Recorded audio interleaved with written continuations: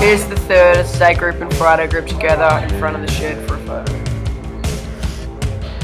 We done some tiling in the hands-on learning shed. Hands-on learning is a great opportunity to get a day off school for one and learn heaps of stuff. We made a sign for the hands-on learning shed.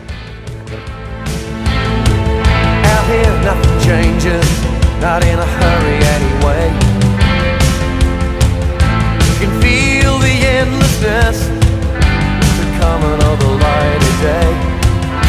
We're talking about a chosen place. You wanna sell it in a marketplace? Well, We don't only do our own work, we help out around the school. For example, we made these didgeridoo holders.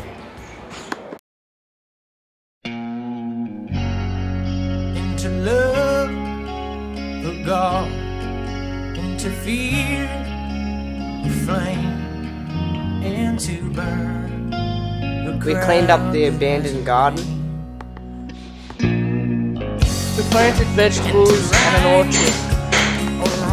We pruned, we cleared rubbish, and we fixed the seat in Mark's Memorial Garden. It is no